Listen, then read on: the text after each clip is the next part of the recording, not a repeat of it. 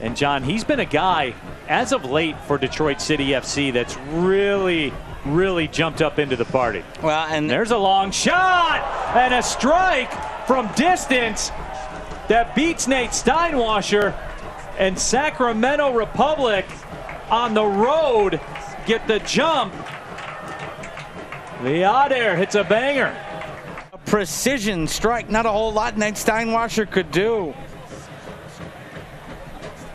Ball comes forward, and Viader says, You're going to give me space. I'm going to have a go.